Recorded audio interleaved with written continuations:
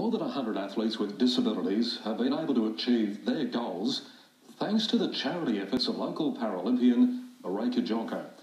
The inspirational paraplegic is now facing the biggest hurdle of her life, and she needs us to help her out. Marayke Jonker's list of achievements is a mile long.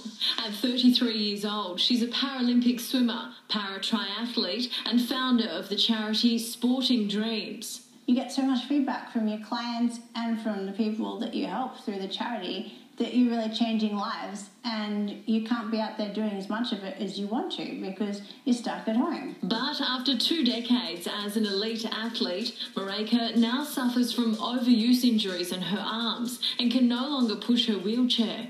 This is the first time in my life I've noticed I had a disability because, and everyone laughs when I say that because I've always used a wheelchair, but before that, there was literally nothing I couldn't do. Her condition has severely impacted on her independence and ability to work.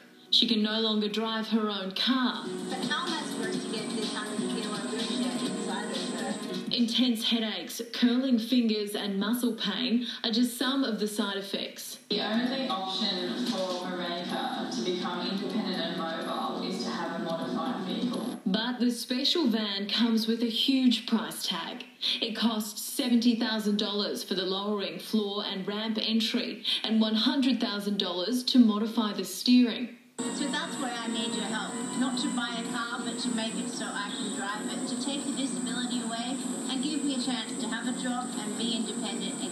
Loved ones have helped her launch the Make Marayke mobile fundraiser, offering once in a lifetime opportunities. Up for grabs are coaching sessions with Kate and Bronte Campbell and a meet and greet with Lisa Curry.